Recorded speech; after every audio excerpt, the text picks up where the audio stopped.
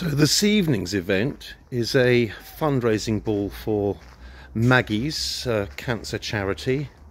And music is the theme. We are at um, Thame Town Cricket Club.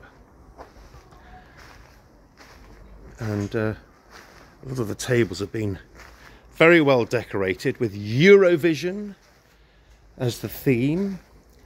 This is not where I'm doing the DJing. We're just doing a few speeches, having a little bit of background music in here. But don't these tables look fabulous? Stevie Wonder, Barbra Streisand, Squeeze, what a good band. Sinatra, oh, Supertramp, Bowie, Queen, isn't it wonderful? More Stevie Wonder. That's a great table, that and the album cover. There we go. Uh, oh, that's Dark Side of the Moon, isn't it? Look at that. What a wonderful album that is, and great band as well.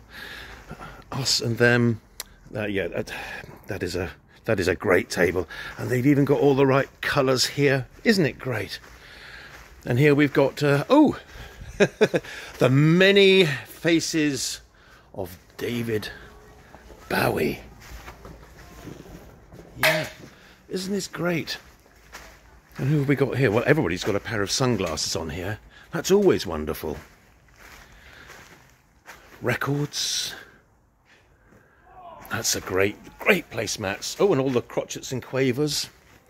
And all the disco balls in the middle. And here we've got two-tone. Wow! Two-tone. Isn't that wonderful?